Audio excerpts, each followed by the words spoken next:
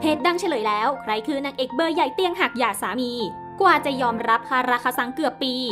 กลายเป็นประเด็นหนาหูทำเอาว้าวุ่นใจกันอีกแล้ว หลังจากที่มีกระแสข่าวบันเทิงในโลกโซเชียล โดยมีเพจดังออกมาโพสต์สเตตัสว่า มีนางเอกเบอร์ใหญ่จดทะเบียนหย่าสามี จบชีวิตแต่งงานเกือบ 6 ปี ทั้งยังได้ระบุในคอมเมนต์อีกว่า ถึงจะเลิกกันแล้ว แต่ทั้งคู่ยังทำหน้าที่พ่อแม่ที่ดีของลูกเป็นกำลังใจให้นะคะ ทำเอาชาวเน็ตเข้ามาแสดงความคิดเห็น และคาดเดาถึงความเป็นไปได้ต่างๆ นานา ล่าสุดเพจดังอีกี้ขยี้ข่าวแม่ทุกสถานบันเทิง ได้ออกมาเฉลยแล้วว่านางเอกเบอร์ใหญ่ที่ว่านั้นคือใคร